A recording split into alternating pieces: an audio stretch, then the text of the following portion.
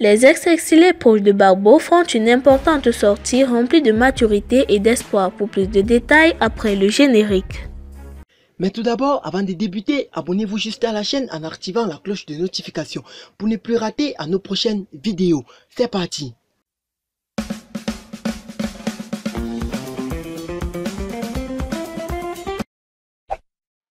Rien n'est le fruit du hasard.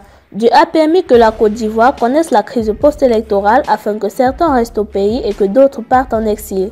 Aujourd'hui, Dieu permet que les tensions politiques soient effacées et que la paix revienne au pays. Nous pouvons citer le retour des exilés comme preuve.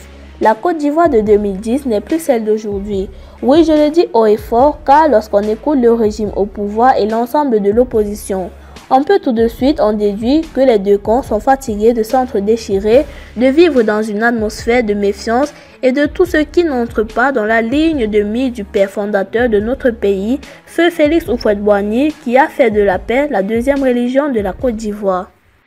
L'Assemblée générale des Nations unies a tenu lundi une réunion plénière pour rendre hommage au président tchadien décédé Idriss Déby Itno.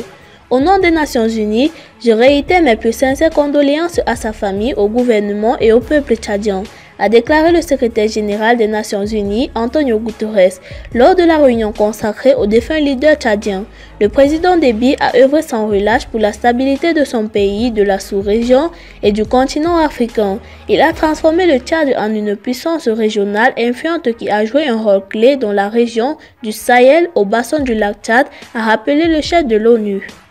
Sous sa direction, et j'en ai personnellement été témoin, le Tchad a ouvert ses portes à des milliers de réfugiés venus des pays voisins, les accueillant généreusement et partageant ses ressources limitées avec eux, a-t-il ajouté qualifiant M. Déby de partenaire clé pour les Nations Unies, notamment dans la lutte contre le terrorisme, l'extrémisme violent et le crime organisé. M. Guterres a dit souhaiter en ce moment crucial pour le Tchad mettre l'accent sur l'engagement fort des Nations Unies à servir le peuple tchadien dans sa quête d'un avenir inclusif et prospère.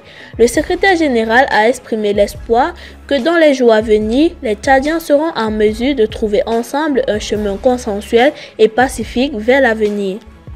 Le président de la 75e session de l'Assemblée générale des Nations unies, Volkan Bosky, a rappelé lors de la réunion que le Tchad est un des membres des Nations unies depuis 1960 et depuis plus de 60 ans, les Nations Unies soutiennent le gouvernement tchadien pour mettre en œuvre les politiques qui s'attaquent aux défis de la paix et de la sécurité, du développement durable et des droits de l'homme.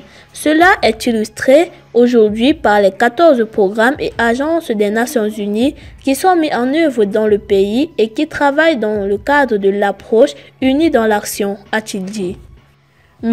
Boski a ajouté que, sous la direction de M. Déby, le Tchad a été un partenaire fiable de l'ONU sur les questions de stabilité régionale, en particulier dans le cadre des efforts de lutte contre le terrorisme, l'extrémisme violent et le crime organisé dans le Sahel.